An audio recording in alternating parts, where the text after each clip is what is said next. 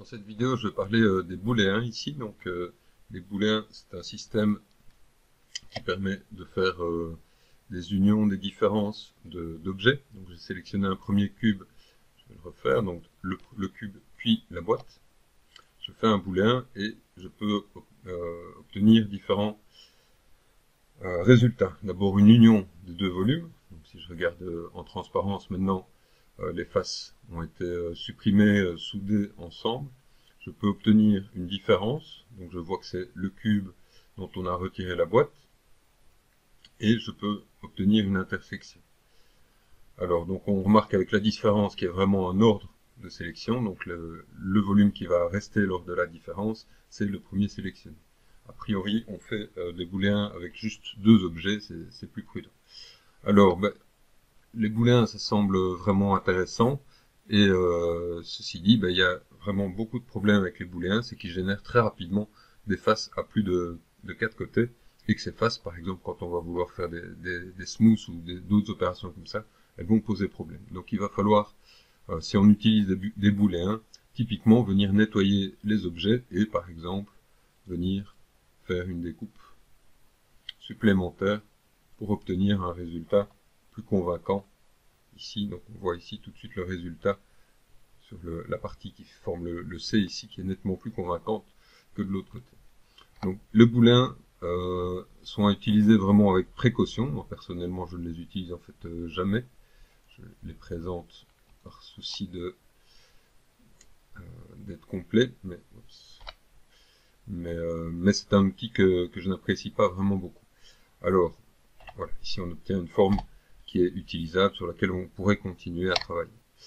je vais prendre ici un autre exemple où je prends euh, un cône sphère, je vais essayer de faire un booléen et on va aller voir, ce qui se passe. Donc euh, ici, ben, j'ai fait un booléen sans, sans, être précis et je me retrouve avec ici vraiment une sorte de, jonction ici qui n'est pas du tout précise, qui n'est pas du tout agréable. Donc vraiment une des choses à faire avec les booléens, c'est euh, de vraiment déjà se dire, ben, ici si ma sphère a 16 de côté, je vais mettre 16 de côté.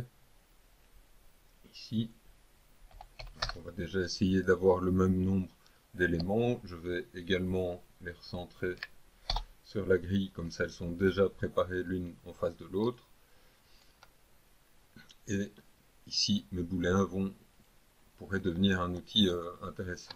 Alors on va aller vérifier quand même, et on voit malgré tout que euh, si je, si je prends par exemple les, deux vertex, deux vertex ici, ben, on remarque malgré tout que, alors qu'on a pris des précautions pour être bien, euh, bien positionnés, ben, les booléens, dans, dans plein de cas, vont nous faire, euh, nous générer des, des drôles d'erreurs comme ça sur la jonction. Donc il faudrait, euh, ici pour bien faire, pour bien terminer mon objet, il faudrait que je termine par faire un merge vertice qui va effectivement me faire une boucle correcte.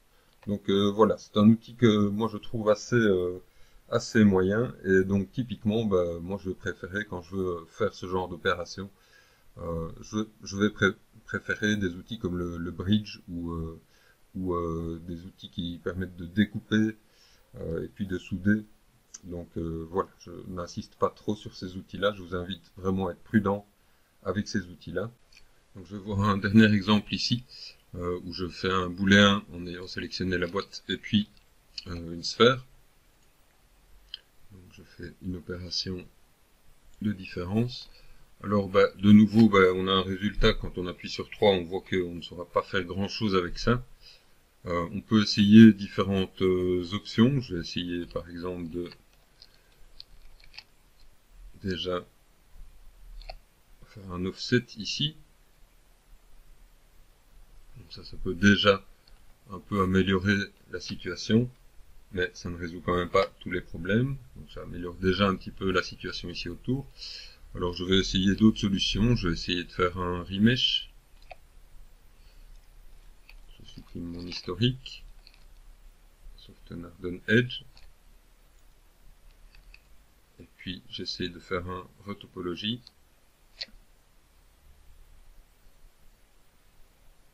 Et on obtient ici un résultat qui n'est pas trop trop mal, mais qui manque quand même encore de régularité, j'ai l'impression. On a des, edges qui tournent un petit peu, qui ne sont pas très réguliers ici. Voilà, c'est des outils qui restent encore assez, euh, approximatifs.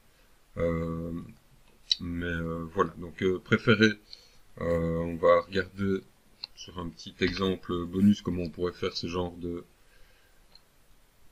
d'opération de manière un peu plus clean. Donc, mettons que je veux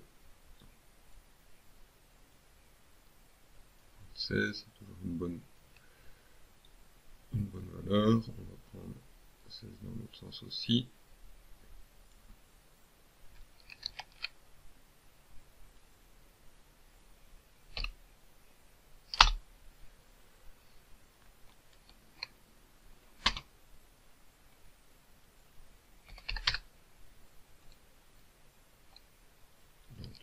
Bah, si on veut supprimer par exemple un couvercle,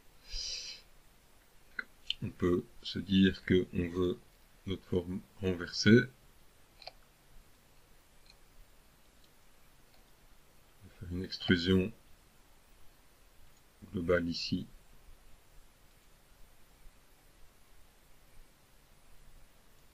Pour obtenir ma forme.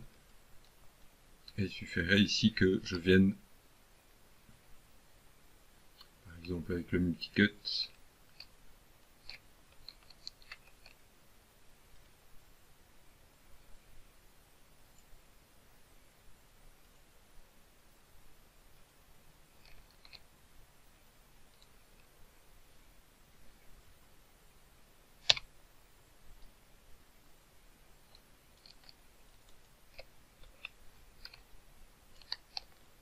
me créer un plat qui, qui va pouvoir s'intégrer très facilement après dans une boîte. Donc il suffira de, de ressouder après très euh, proprement. Donc voilà, je préfère euh, moi typiquement euh, travailler comme ça. Je peux nettement plus facilement être précis, venir après refaire des opérations comme des bevels sur les bords, insérer des boucles avec par exemple Insert Edge Loop Tool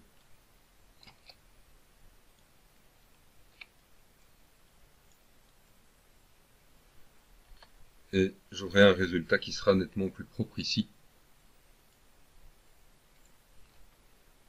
au final. Voilà. Donc euh, pensez à, être vraiment très très prudent avec cet outil euh, de boulet.